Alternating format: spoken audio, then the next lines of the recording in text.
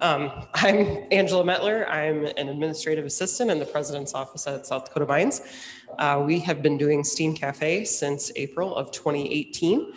And Steam Cafe is a partnership between Mines, Hay Camp, and South Dakota Public Broadcasting. So we'd like to thank them for their support, and we would like to thank all of you for your support as well. We would not be able to keep doing this if you guys weren't here, either in person or virtually. Um, I do apologize. We're having some live streaming issues with Facebook and YouTube. So uh, this will only be live broadcast on Zoom tonight, but it will be uploaded to Facebook and YouTube later this week uh, for people to watch. So without further ado, I will turn it over to Kayleigh. Hello. Nice to see everyone who's turned out. Hopefully those that are on the digital realm are having a good night too. My name's Kayleigh. I'm here to talk about a T-Rex. So um, to get to know you guys, you already know my name. Um, a little bit about my background. I got my bachelor's and my master's at South Dakota School of Mines and ended up taking a position as the preparator and lab manager there. So I'll tell you a little bit about my job before we really start talking about the T-Rex so you kind of have an idea of what I get to do and why I do it. So for the managing side of my position, I'm lucky enough to vol volunteer, manage my volunteers in the lab, and I've also helped reinvigorate, restructure our volunteer program. So shameless plug, if you're interested in volunteering either in the fossil prep lab, in collections or on the museum floor. We're always looking for volunteers and I'm happy to answer any questions about that or tell you more about that after this presentation. I also get to manage the paleontology research lab. So when you think about the Museum of Geology, you're probably thinking of our main exhibit floor that's in the O'Hara building or the administrative building on campus. But right behind that building, we actually have a facility that houses the rest of our collection. So most museums only how or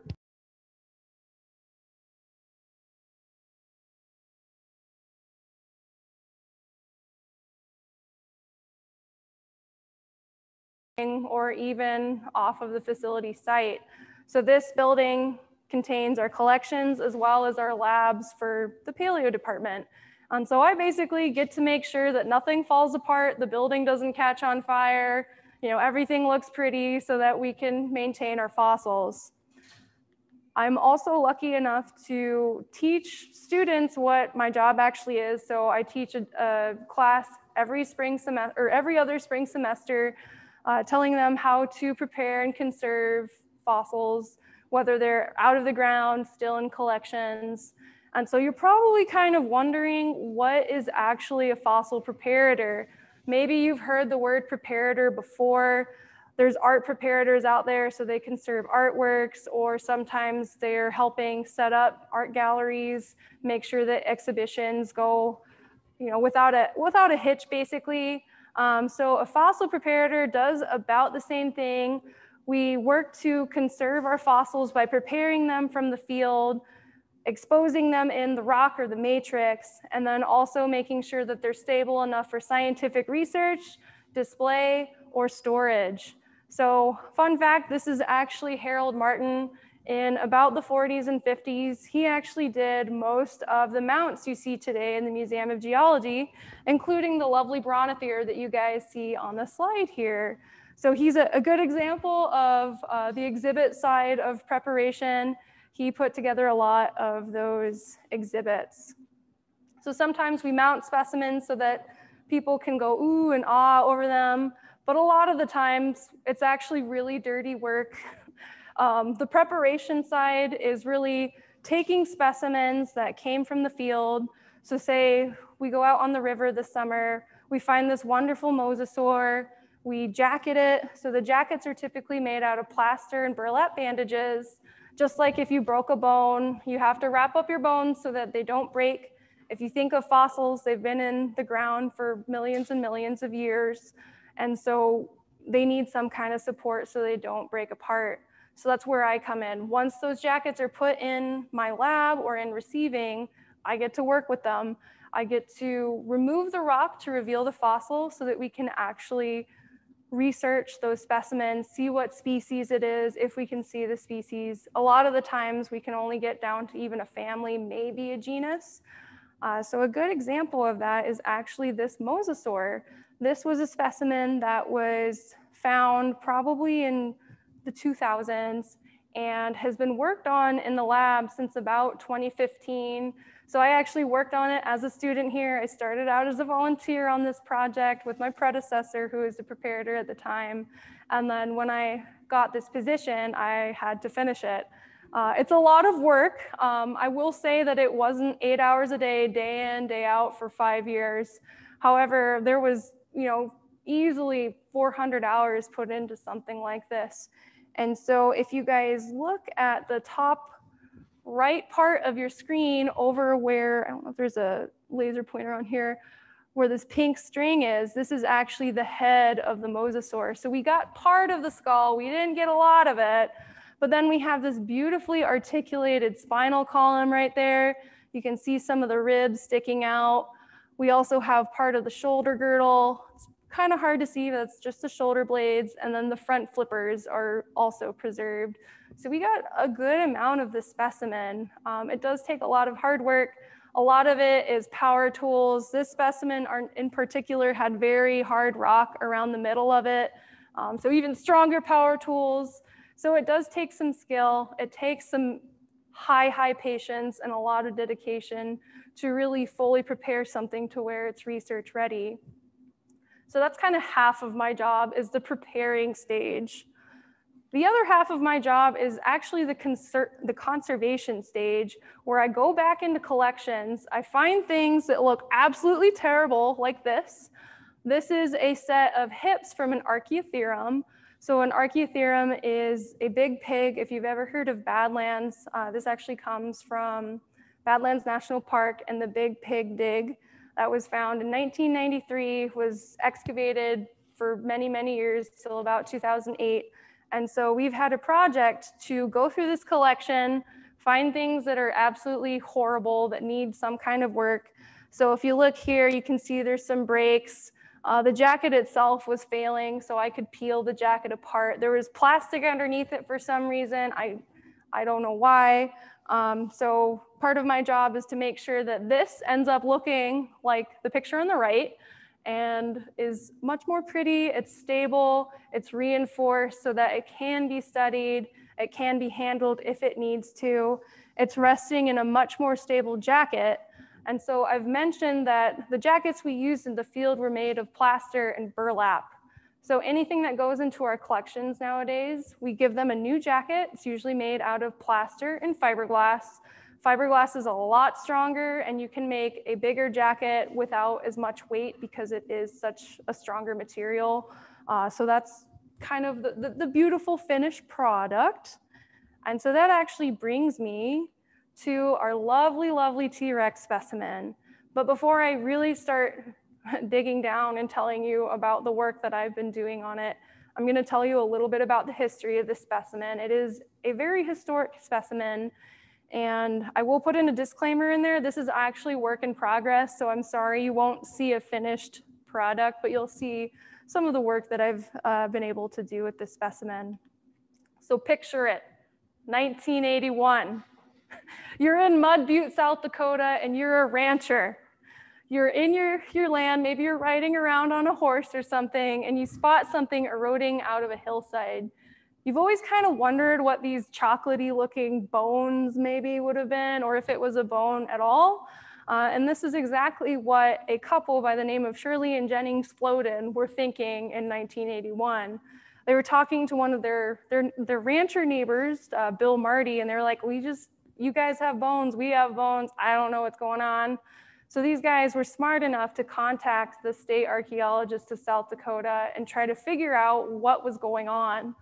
Unfortunately, they contacted an archaeologist. Archaeologists only study human remains. They really focus on prehistoric humans, not deep time prehistoric life. So they go, you know, 10,000 to maybe 100,000 years ago. We go millions of years. So the archaeologist was kind enough to forward the information on to this man. This was the director at the time, Dr. Philip Bjork.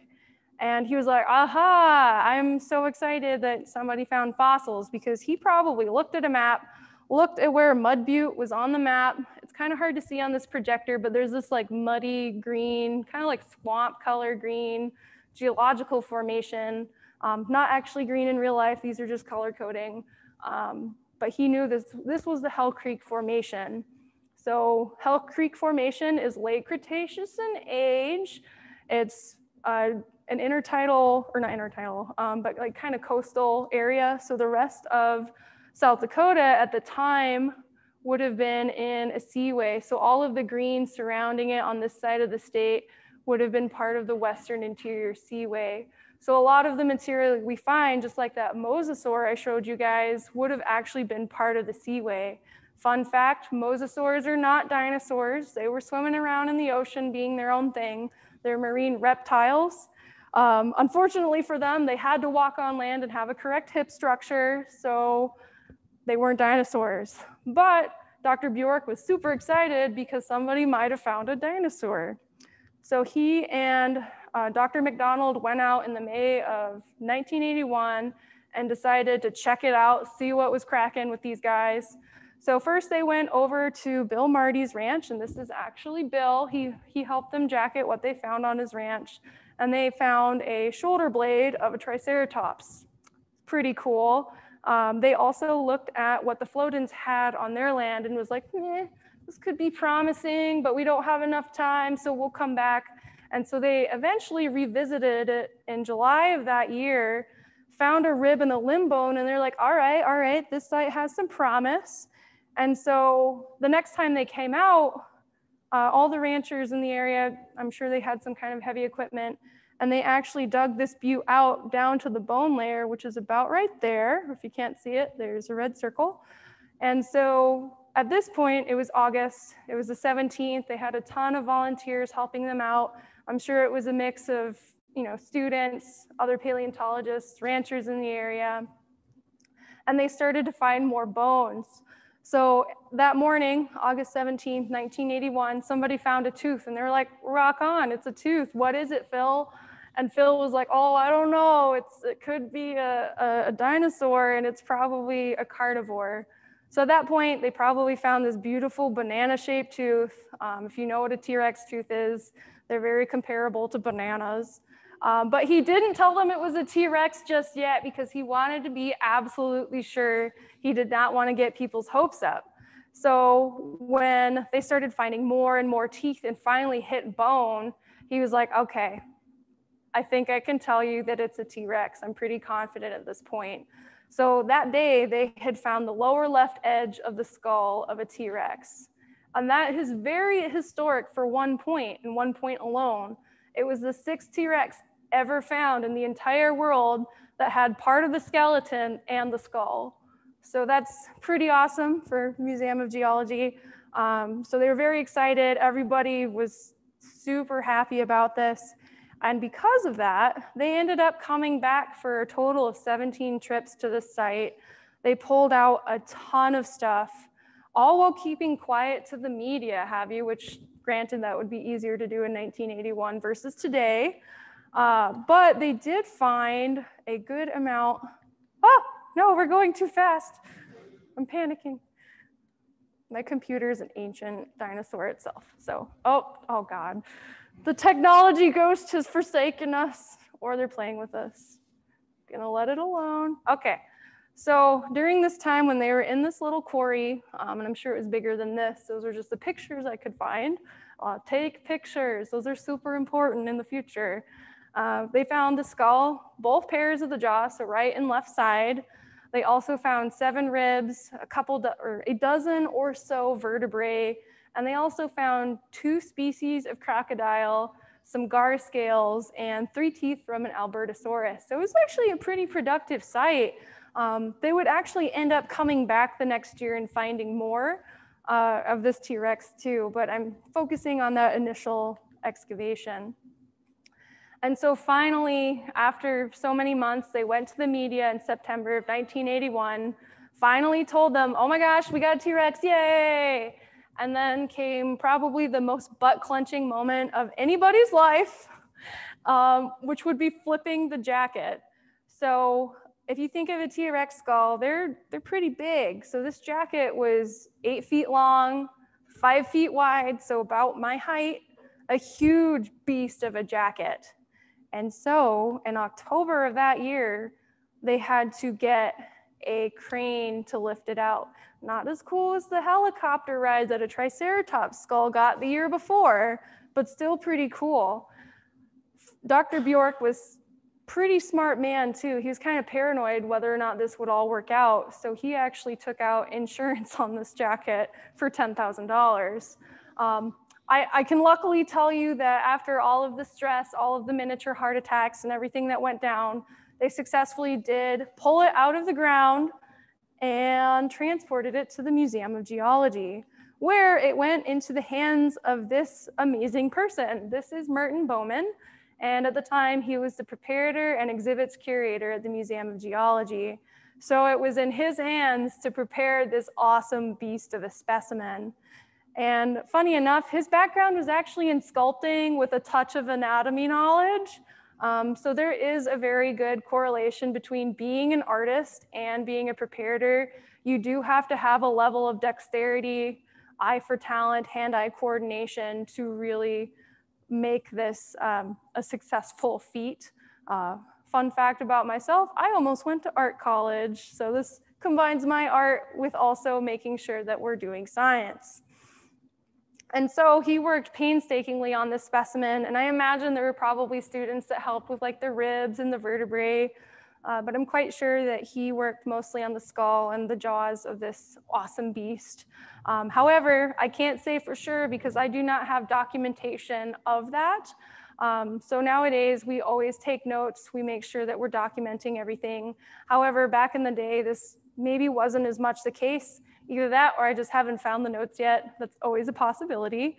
Um, but he really did a lot of work on this specimen. And the result you can see today in the Museum of Geology. So this is the skull of that amazing Mud Butte T-Rex.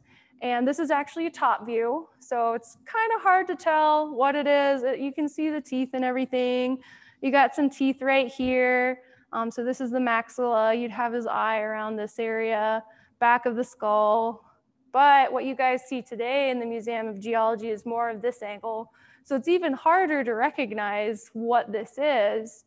And so this is one of the reasons I've kind of started working on this specimen. My like pipe dream goal would be able to mount this a little bit better so it's more recognizable, more similar to the mount we have of the Amon T-Rex.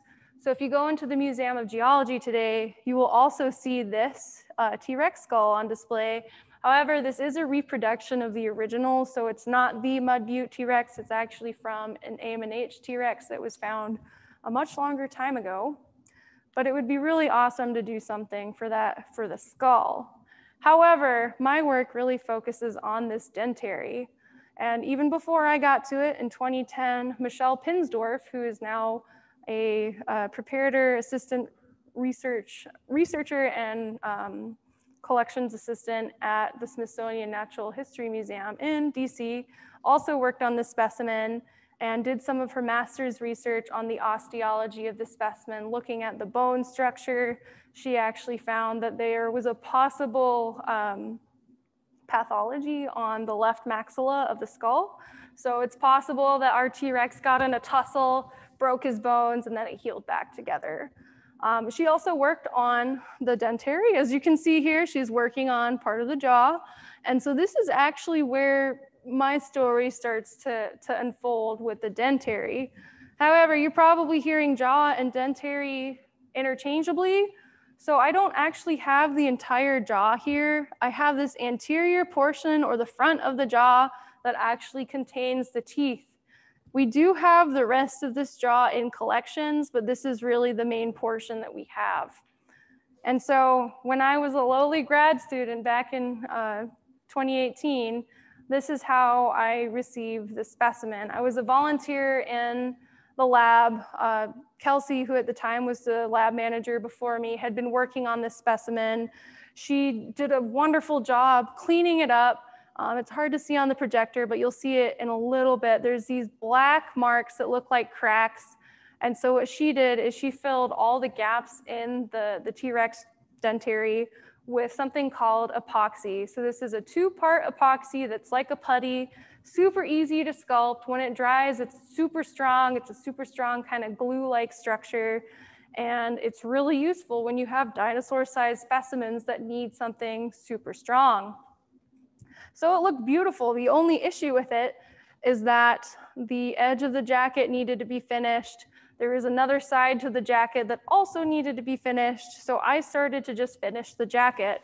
So I cut it. You can see my nice little smooth edges around the jacket. Um, you know, reinforcing it with some, or sealing it with some Butvar, labeling it, making sure that it's ready for when I put it on top of that, that dentary, flip it over, and so I can finish the other side of the jacket. So this is what it looked like flipped over, and I was kind of surprised, to be honest, that the rest of it still had all this white stuff in it. There's a little bit of a yellowing mystery glue right here. It could be carpenter's glue. I still have no idea. Um, so I was like, okay, like that's interesting. And then because of gravity and Murphy's Law, uh, when I flipped it, I also broke it. So that was um, interesting as a grad student, breaking a T-Rex in half. Um, so I, you know, I had a couple teeth that fell off. Part of the dentary just literally snapped in half. Although I'm lucky to say that that was on an existing um, crack, so it wasn't something I did myself.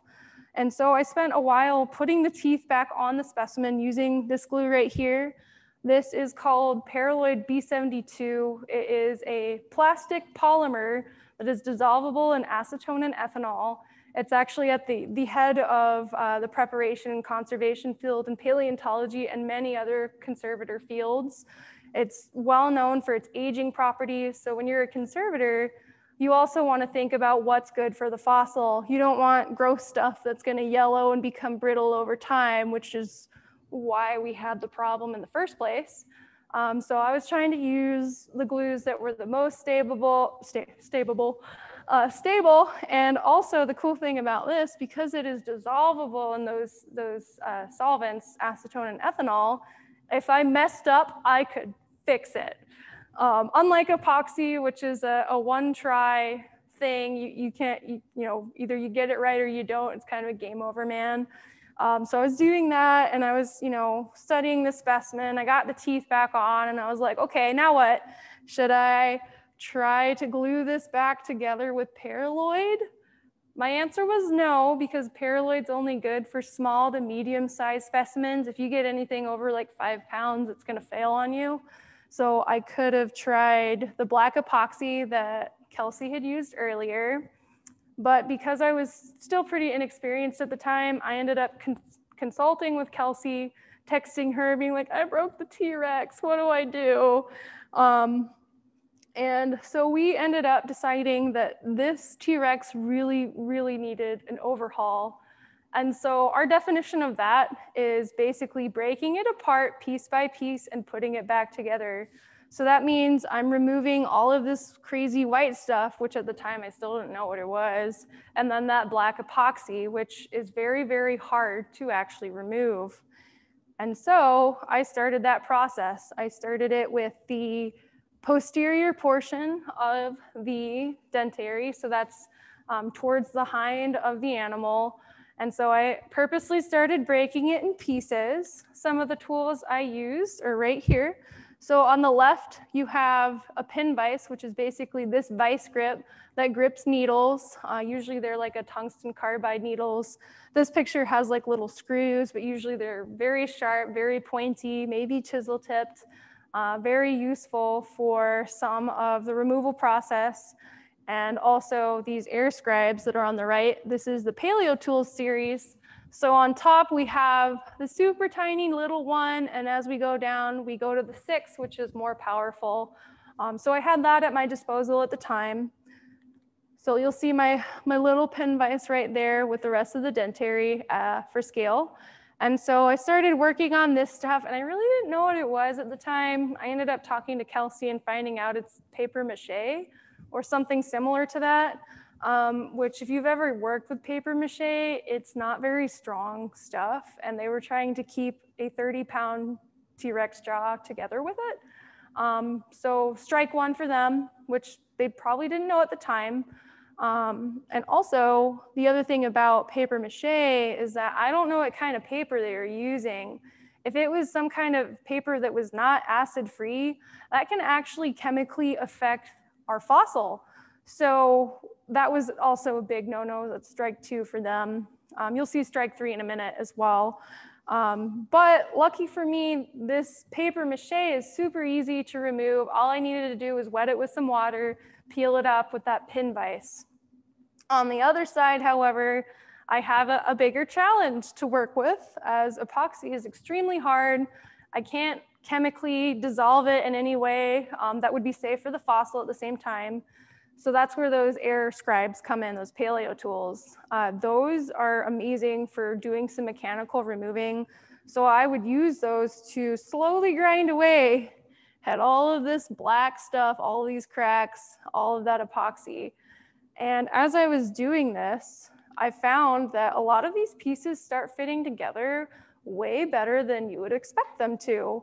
Um, I haven't I, will be honest with you guys, I haven't glued a lot back together yet. I'm still removing things from this piece of bone, and I'll explain that in a minute as well. Um, but as I was cleaning these, I was finding they're actually fitting better and better together. So I'm like, okay, I've got some super big hope for this specimen. You know, I'll keep going. And as I'm going, I'm actually cleaning the edges of these puzzle pieces and also taking pictures, drawing as I go, so I know exactly where something goes so when I'm ready to put pieces back together, I can do that easily as possible. And so cleaning those edges of the puzzle pieces, as you'll see right here, um, it's a little hard to see, uh, but you can see there's these vents in the back. This is actually in one of my chambers. So I have something called an air abrasion unit, specifically ours are Comco microblasters. They're basically like miniature sandblasting units except we don't use sand. We actually use the very technologically advanced baking soda. Um, it's actually softer than something like sand and is a little bit more gentle on the fossil. And so I've been using it to clean off any leftover ancient glue, any ancient paper mache, and of course, any of the epoxy. So we end up with this ugly, dirty area to a nice, clean puzzle piece side. And the reason we do that is so that when we do put them back together, they're a nice, clean fit join. They're gonna fit more snugly and they're actually gonna stick together better as well. And so became the odyssey of the T-Rex. I would start to remove some more of that paper mache, flip it over, work on the other side, try to remove more of the epoxy, break it apart, and then clean it with the edges and repeat the process. However, when I started working in this area just to remove some of that paper mache, I found strike three. There is a mystery mesh inside of my dinosaur, and I don't know what it is. It's some kind of plastic. Um, no documentation whatsoever as to why it's there. Um, I'm sure they put it in there to try to support this this gap a little bit more, but it was a bit of a surprise. I didn't know that was gonna happen. So, and I'm sure I'm gonna find more surprises as I go on.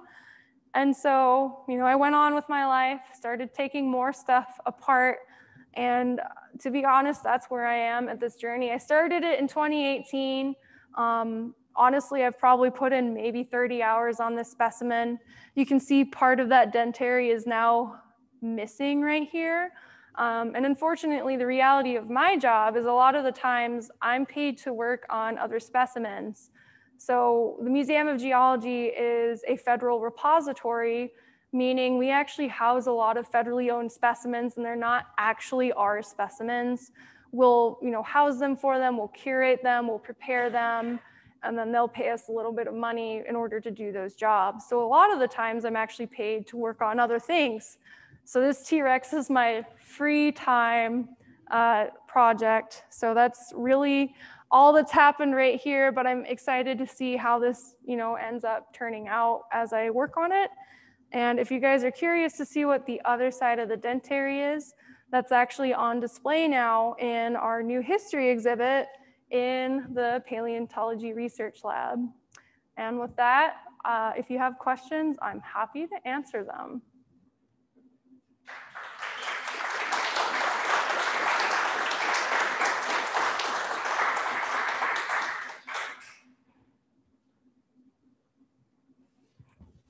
I think he's, I think he's, well, you're, you're, you're loud enough. I think you'll be good.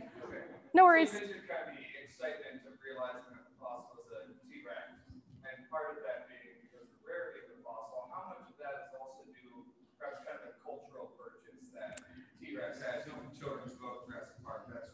Oh, definitely. So this was before Jurassic Park. I will mention that. Um, so, but, and there's there's been a lot of studies on this too. But when dinosaurs became a household term, that was actually in the early 1900s. So dinosaur had been a big word for a long time. Um, and in that era, that's when the first T-Rex was actually found by Barnum Brown. Um, so it's been a common common name for a long time, and really it's that that mysticism behind dinosaurs of like, whoa, there's this huge ass animal that, excuse me, no one's ever said before, no one's ever seen before. Um, so you know, it's always held the public in wonder since about the 1890s, 1900s. So.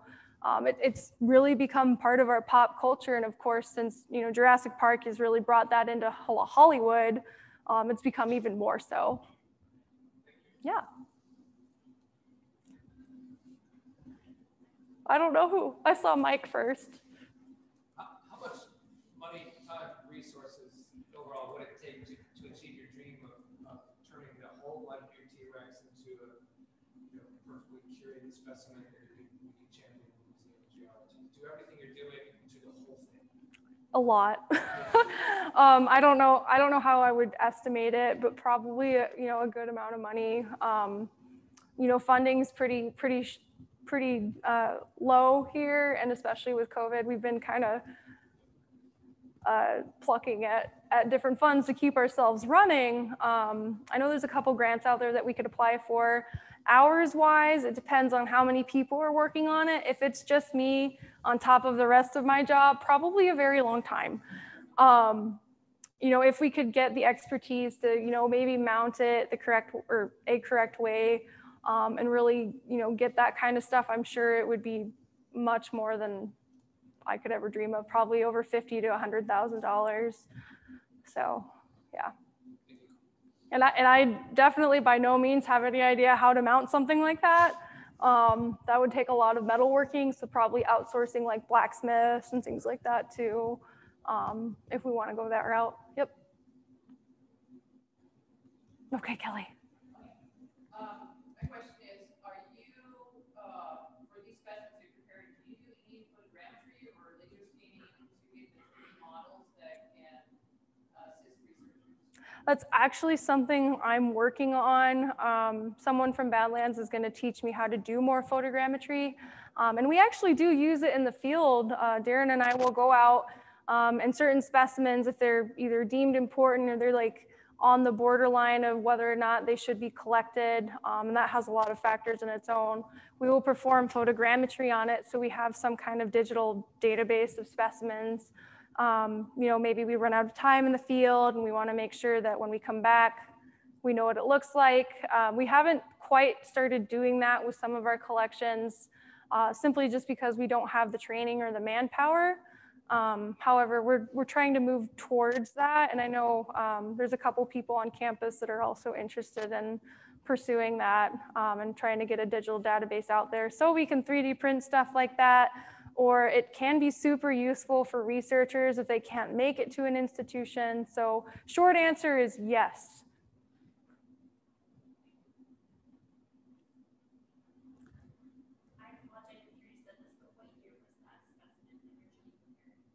originally prepared, um, it probably started in either early or late 1981 or 82. Um, I'd imagine they probably started it right away um, because it was such a high priority specimen. So as a preparator, uh, you're usually told what to do. So, you know, if you have something that you want researched or a researcher comes in and is like, I need to see this, that's usually what the preparator works on.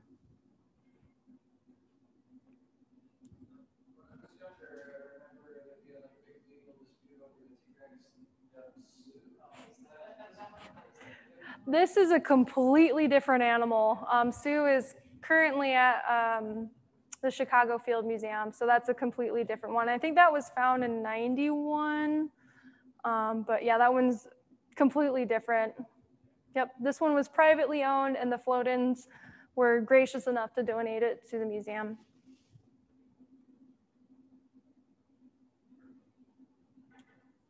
Anything else? Go ahead. Are we going to find the next T-Rex? And you think you'll find it in South Dakota? Um, that's a good question. I don't personally know. Um, we don't do a lot of work in the Hell Creek uh, as the museum itself. Um, a lot of our surveys are for federal land management management agencies, which happen to be more in the western interior seaway part of things. So we might find the next awesome mosasaur, a new species of turtle or something like that. Um, but it's not impossible if you know some other rancher finds a T-Rex or you know other another dinosaur. So I would hope it's from South Dakota, fingers crossed. But it could be you know Wyoming, North Dakota. Um, I know North Dakota has been finding some good tyrannosaurid material recently. You mentioned that it was only the six T-Rex that were found that have jaw and breast. in it. How many T-Rexes are out there? Um, I don't know the number off the top of my head, but there's many more since the 80s. Um, that just happened to be the sixth one ever found at that time. Um, I don't know a number off the top of my head though.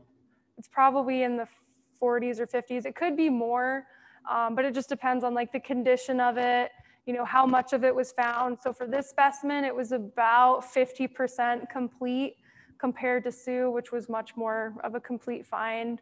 Um, so as you know, good condition they are, how complete they are, usually um, will tell you the popularity of a specimen as well. Um, so it's a little bit more every day now that, oh, we found another tyrannosaur tooth or something like that. But complete skeletons are um, usually bigger deals. Did you say that the Triceratops that was found, it was a Triceratops, right? That also ended up in the museum? Uh, the, the scapula, I believe so, yes. Yep.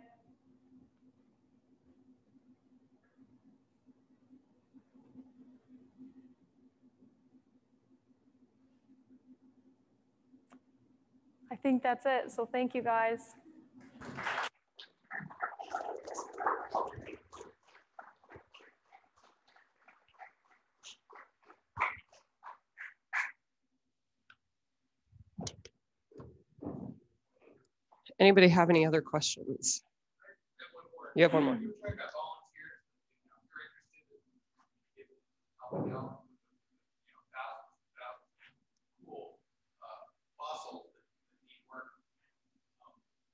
I understand you have Forest Service as a program. Yeah, so the Forest Service actually has their own program, which I have some lovely volunteers here from that program. Um, that is the Passport in Time project. Um, and so you can search Passport in Time US Forest Service online, see what they're usually about. Um, they have a lot of archaeological, some paleontological projects.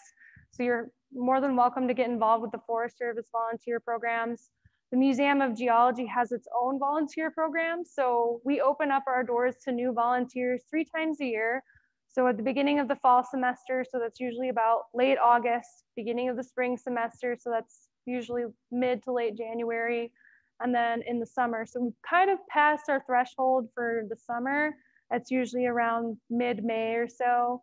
Um, but if you're open to volunteering, I can always get your contact information and we can talk about it from there. Um, but we do have positions that are typically available within those three realms.